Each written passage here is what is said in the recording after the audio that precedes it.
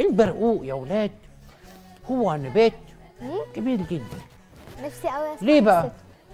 أكبر دول مصدره ومنتجة للبرقوق إيه هي اليابان وأوروبا. اتنين دولة اليابان وأوروبا كلها بيزرعوا برقوق هم بيحبوا البرقوق هناك. عشان الدنيا ساقعة عندهم والبرقوق إيه؟ بيحبوه هناك. ماشي؟ طيب البرقوق ده يتم زراعته على طريقتين.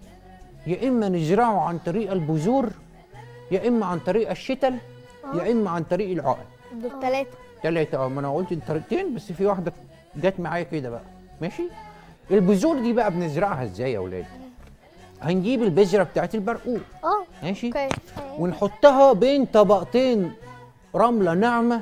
يعني إزاي طبقتين؟ يعني نحطها في النص يعني فوقيها يبقى في رملة ناعمة وتحتيها رملة ناعمة وهي في النص. ماشي؟ وناخدها كده نحطها في التلاجة على درجة حرارة خمسة مئوية ونسيبها في التلاجة لمدة قد إيه؟ قد إيه؟ من 90 ل 120 يوم. آه. يعني 90 ده يعني 3 شهور. كل ده عشان حتة برقوقه تمام عشان بعدها حتة بقى بذراية. ما إحنا بنسيبها بقى من 90 يوم ل 120 يوم جوه في في التلاجة. المرحلة ناكل دي برقوق. لازم يكون عندك الصبر التام. تمام؟ لما بتنبت بقى بناخدها. نزرعها في الرمل. طب لما نزرعها بقى نزرعها في إيه؟ في شهر مارس. هو ميعاد زراعتها بتبقى في شهر مارس. زرعناها ونبتت خدناها حطيناها في المشتل لمدة سنة. مستنى المشتل.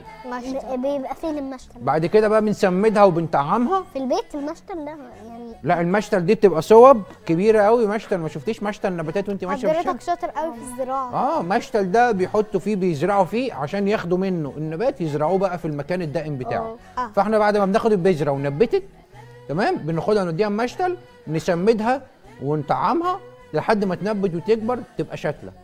ناخد الشتلة دي ماشي. هناخد أماكن كتير قوي آه ناخد الشتله بقى اللي طلعت الحلوة دي آه. نحطها في التربة.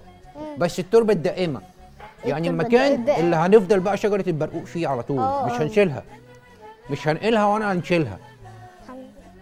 خلاص بعد كده بقى بناخدها نزرعها بالعقل.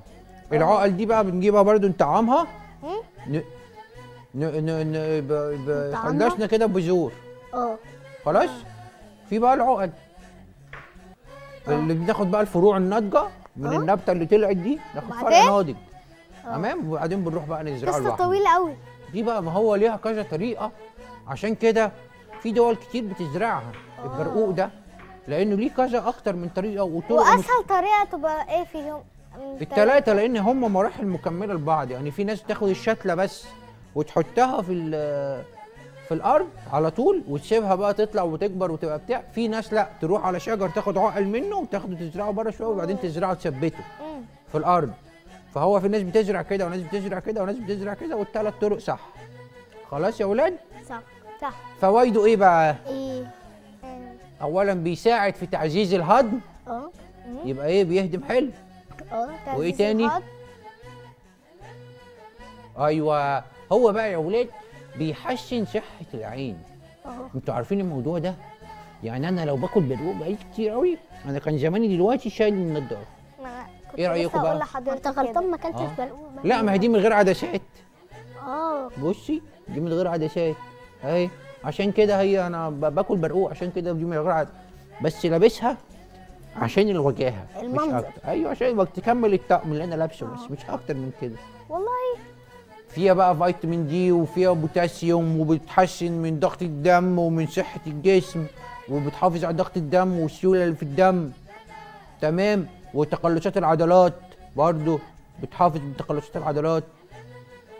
كل دي فوائد وبرضو استفدت و- جدا. آه وبرضو برضو نضارة البشرة بقى البشرة بتبقى ناعمة ونضرة كده وموردة ومزهرة وبتبقى حلوة كده وشحتنا بوم بشيء ما أكلتش برقوق النهارده تقريبا. يا سنة الفواكه بنحبك كلنا. يا سنة الفواكه.